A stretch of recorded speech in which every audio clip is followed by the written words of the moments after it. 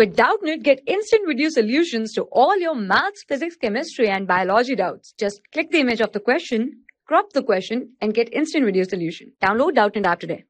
Our question is a triangle is formed by the straight line x plus 2y minus 3 is equal to 0 to 3x minus 2y plus 7 is equal to 0 and y plus 1 is equal to 0. Find graphically the area of the triangle. So firstly we will find these points so that we can plot them on the graph. We have our equation as x plus 2y minus 3 is equal to 0. Here if we put the value of x to be 0 we will get the value of 2y to be equal to 3 therefore a value of y will be equal to 1.5 and if we put the value of y to be equal to 0 we will get the value of x to be 3 so for our first equation we have two coordinates such as 0 comma 1.5 and this will be 3 comma 0 for our second equation our equation is 3x minus 2y plus 7 is equal to 0 here if we put the value of x to be 0, we will get 2y to be equal to 7. Therefore, the value of y will be equal to 3.5. And if we put the value of y to be 0, we will get 3x to be equal to minus 7. Therefore, the value of x will be equal to minus 2.33. So, our coordinates will be 0, comma 3.5 and this will be minus 2.33 comma 0 and we see that our third line is y plus 1 is equal to 0 which can be written as y is equal to minus 1. So now we will plot our mm-hmm. graph. So this is our graph, this is our y axis and this is our x axis. We will firstly plot our first line. We have our points as 0 comma 1.5 and 3 comma 0. So x is 0, y is 1.5 which will lie between 1 and 2 and 3 comma 0 will be this point. So if we join both of these lines, therefore this will be our line x plus 2y is equal to 3. Now we have these coordinates for our second line. So 0 comma 3.5. 3.5 lie between 3 and 4 and we have minus 2.33 which will lie between minus 2 and minus 3. So if we connect these line also, this will be our line 3x minus 2y plus 7 is equal to 0. Now we will draw our last line that is y is equal to minus 1. So we see that the line parallel to the x-axis over here we will have all the values of y to be equal to minus 1. We see that this is the triangle formed.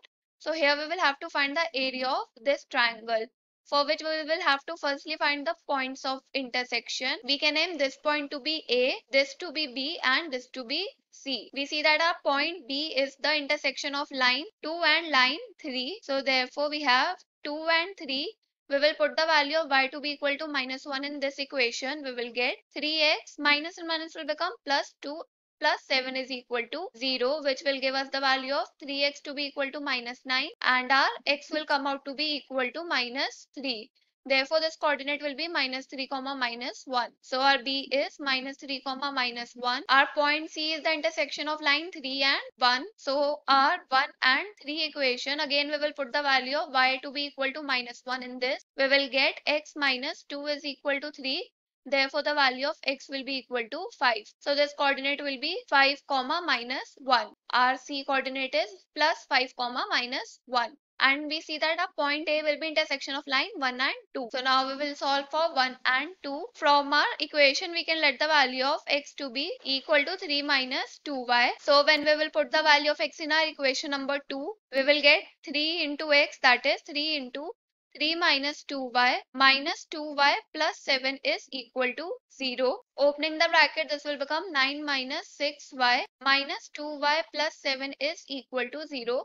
Taking y terms on one side and the constants on other, we will get 8y is equal to 16. Therefore, the value of y will be equal to 2. And from here, we will get that our value of x will be equal to 3 minus 4, that is minus 1. Therefore, this a coordinate will be minus 1 comma 2. Here we see that this will be our height for the triangle and this BC will be our base. We can let this point to be D. Therefore, area of a triangle is given by half into base into height. Here we see that it will be equal to 1 by 2 into here our base is B into C and our height is A into D. Our BC will be equal to now here we have our x to be minus 3. So from minus 3 to 0 we see that we will have 3 boxes and from 3 to 5 we will have 5 boxes. So 3 plus 5 will be 8. Therefore we will get this value to be equal to 1 by 2 into BC that is 8 into Now AD we will find from this value will be 2. So from 2 to 0 we have 2 boxes and from 0 to minus 1 we have 3 boxes. So 1, 2 and 3 boxes. So therefore its length will be